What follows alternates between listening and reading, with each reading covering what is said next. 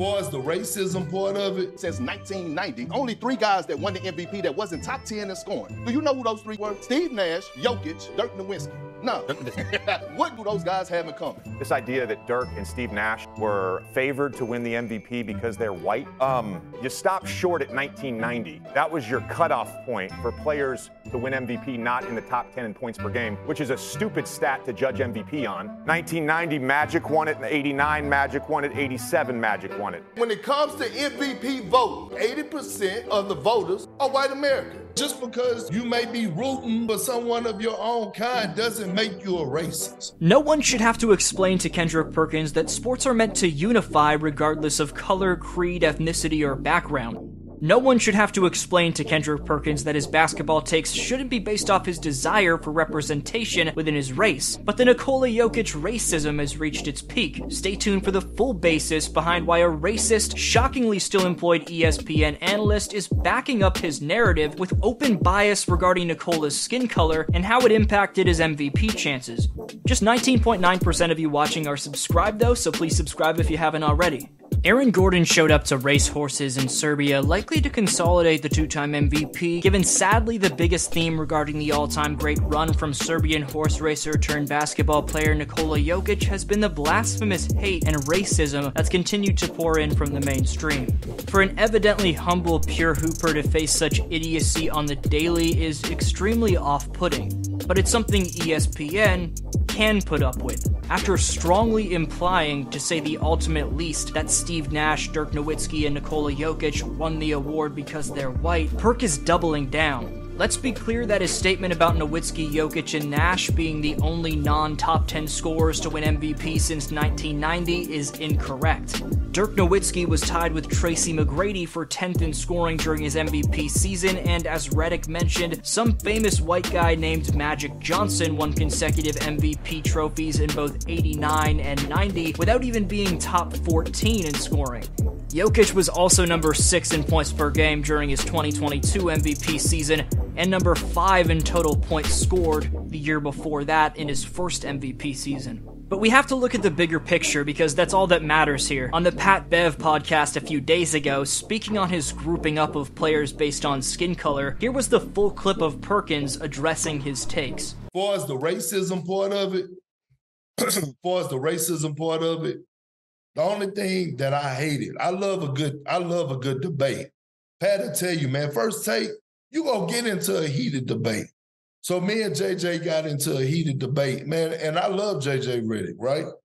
Here's the thing. the only problem that I had with JJ is when he said, I accuse people of being racist. I never accused nobody of being racist, bro. Like accusing somebody, and correct me if I'm wrong, racist is that you hate someone of another color. Am I right or am I wrong? That's racist, right? That sounds right. Yeah, that's that's right. So I never said that. Now, racially biased, okay, cool. I told like I told JJ off off record.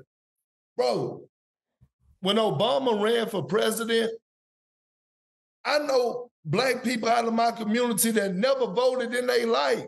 Me personally, I never voted in my life. You know, I rushed to go vote for Obama because I actually wanted to see a black president in office. Does that make me racist? Does that make a black person racist? No, it don't. And it happens. Like you ain't doing it intentionally, but just because you may be rooting for someone of your own kind doesn't make you a racist. And that was my only problem with what I had with JJ said. Me and them talked about that off of camera because I'm like, bro, the last thing I'm doing is accusing somebody of being a racist. First of all, let's acknowledge how insane it is that Perkins went through an entire segment slowly admitting to us that he didn't endorse Jokic because he wasn't black. That was an admission you'd have never thought would have come to light. Addressing the last point from Kendrick in his response podcast, did he state the exact verbiage of quote unquote, the MVP voters are racist? No. Did he stack up three players who were white and directly imply that MVP voters have been favoring white players over black players for the past 30 years. Yes. It's one thing to root for quote unquote your own kind, it's another to root against someone that isn't your quote unquote own kind. Perkins actively looked for ways to root against Jokic because of his race, with his proven to be out of thin air argument involving Nash, Nowitzki, and of course Jokic. Kendrick put three players of his opposing race together and put them down based off their very skin color. Not only did he accuse voters of racism, he was in fact racist all in one.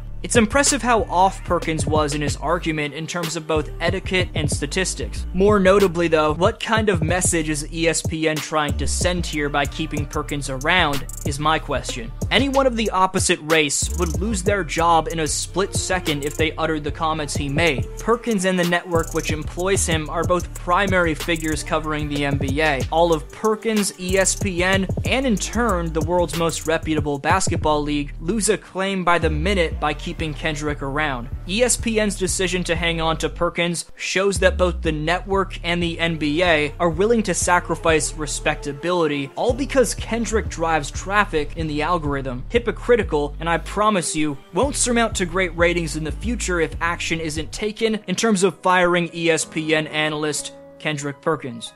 Nikola Jokic going on to win Denver the championship along with a unanimous finals MVP almost adds to the reasoning behind why Perkins should be fired.